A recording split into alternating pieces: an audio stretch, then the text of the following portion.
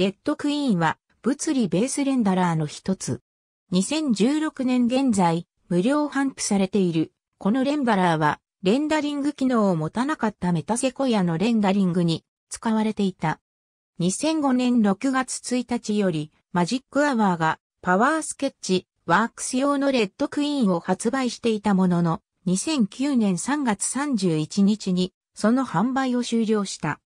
2015年4月より GitHub 上で頒布が行われていたが、2016年8月に開発者の大垣真二がアーノルド・レンダラーの開発元であるオートデスク、市街者のソリッドアングルに転職したため、新機能の追加が終了された。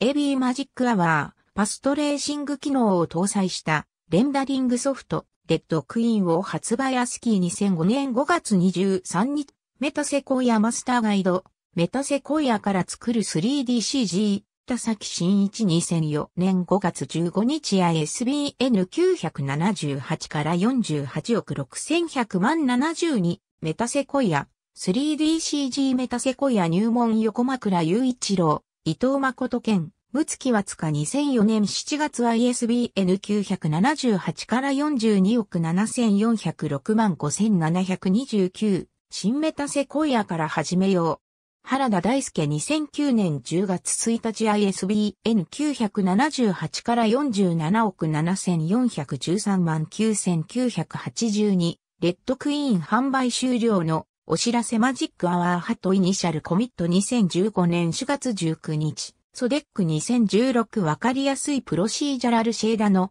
話せっさ2016年 AB アップデートリアドム MD2016 年8月5日。ありがとうございます。